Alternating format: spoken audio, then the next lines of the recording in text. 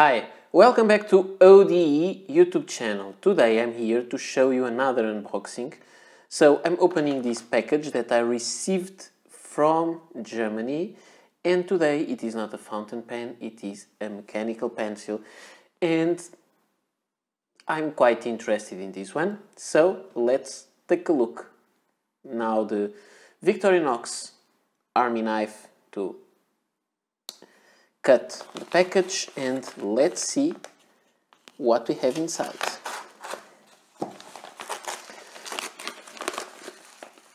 And this is quite well protected. I think this may be the invoice. Yes, this is not important for the video. This is Okay, the package can go away. And another little envelope with this thing. And here is the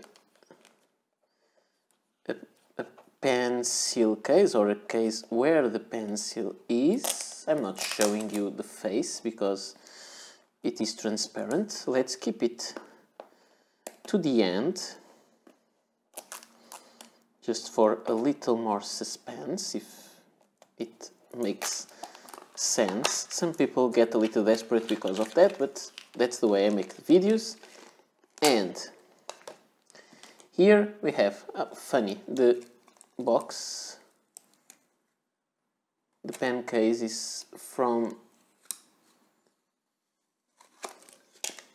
Bic Nice. It's always nice to have a stationary branded box for something that's not a Bic. And what is this? This is a mechanical pencil, a very slim one, and I don't know if you've ever seen this one. It's not that common. This is the, the price new. Now, I paid a little bit more because it's more expensive. It has a little rubber there beneath the top of the button. So 38 euros was the theoretical price and here you have Lamy. So this is a Lamy Spirit. It has been discontinued for some years now and this is a mechanical pencil, a 1 point, uh, 0.5 mechanical pencil. As far as I know it is 0.5. It works great and I think it is in new condition it still has the sticker. I will take the sticker out. I'm not those kind of collectors that like to keep everything with stickers. I prefer to take them and be able to use these. I think this is really a very interesting pen and I'm quite interested in using a pencil. Actually, I have here a little pouch where I usually have a Pilot Birdie which is a, mechanical pencil that is also a ballpoint pen on the other end. But now this will lose its place. And although this is more compact because in only one writing instrument you have a ballpoint and a mechanical pencil but I think I will start having these set inside this pouch that I take with me several times and this is the pencil the pen that was bought in second hand and this is the new uh, pencil. And here you have both. They are of the same size the same overall design and just this. This is the pencil the pen and the pencil. The same finish. It was available in at least as far as I know they were available in three different finishes and the finishes were the uh, steel version that was uh, black painted lacquered something like that. It, it was a matte black finish. It was available also in shiny steel like a, a chrome version or at least polished polished steel version and then there is also this steel version that is plated with palladium which gives it this nice frost. And you can check against a, steel pen. This is more um, shiny.